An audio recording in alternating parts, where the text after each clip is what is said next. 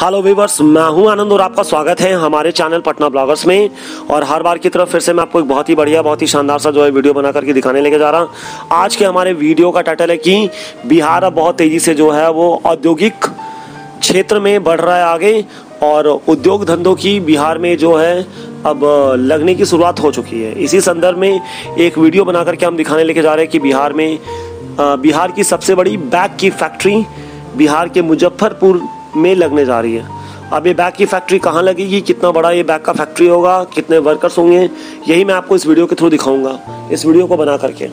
तो खबर ये है कि मुजफ्फरपुर के बेला औद्योगिक क्षेत्र में एक बहुत बड़ी बैग बनाने की फैक्ट्री खुल रही है।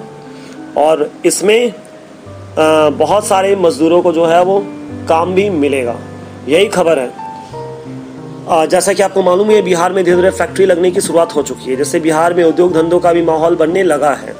इससे लोगों को रोज़गार भी मिलने लगा है और लोग बिहार से दूसरे राज्यों में पलायन अब कम कर रहे हैं।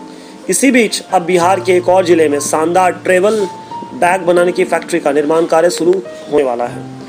और यह निर्माण कार्य जो है, इस साल के अंत तक शुरू होगा। मतलब ऐसी खबर है कि दिसंबर 2022 तक 960 मशीनों को लगा करके जीविका दीदी और बिहार उद्योग विभाग दो फैक्ट्रियों की शुरुआत करने जा रही है। ये फैक्ट्री बिहार के मुजफ्फरपुर में बेला औद्योगिक क्षेत्र में लगाई जा रही है और ये ट्रैवल बैग बनाने की सबसे बड़ी फैक्ट्री होगी।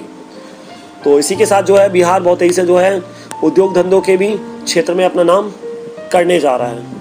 और ये जो है एक स्टार्टअप स्टार्टअप होगा और इसके ज़रिए जो है वो हज़ारों जीविका दीदियों को जो है वो रोज़गार भी मिलेगा।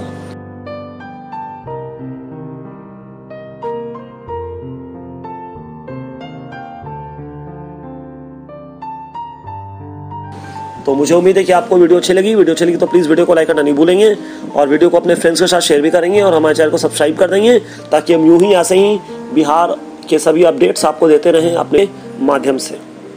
और हाँ प्लीज़ हमें अपना सपोर्ट यूँ ही देते रहेंगे।